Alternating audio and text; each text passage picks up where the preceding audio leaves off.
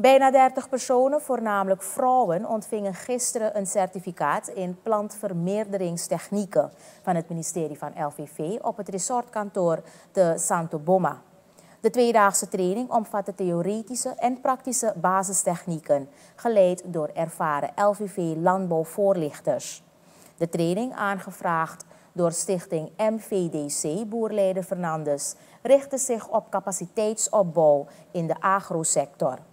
LVV zal doorgaan met het versterken van informatie en ondersteuning om te voorzien in de behoefte aan groente, fruit en eiwitvoorziening.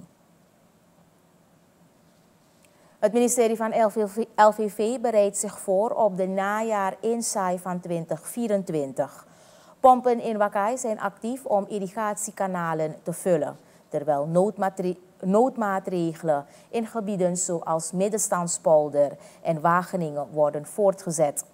Het ministerie streeft naar irrigatie via zwaartekracht en heeft een waterkalender opgesteld voor geplande watertoevoer naar verschillende landbouwgebieden, waardoor planning verbetert en ziekterisico's verminderen. Boeren worden opgeroepen om instructies strikt op te volgen voor efficiënt watergebruik en organisatie binnen de rijstsector. Het Nationaal Coördinatieteam NCT heeft op 22 april samen met andere belangrijke commissies een spoedvergadering gehouden met de stichting Post-Academisch Onderwijs voor de Geneeskunde in Suriname, SPAOGS.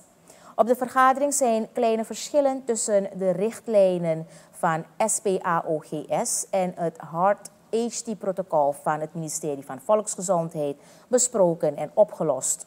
Als gevolg hiervan zal het hartsprotocol nationaal als enige richtlijn gelden. Huisartsen worden dringend verzocht dit protocol onmiddellijk toe te passen. En dit waren de lokale berichten in het journaal.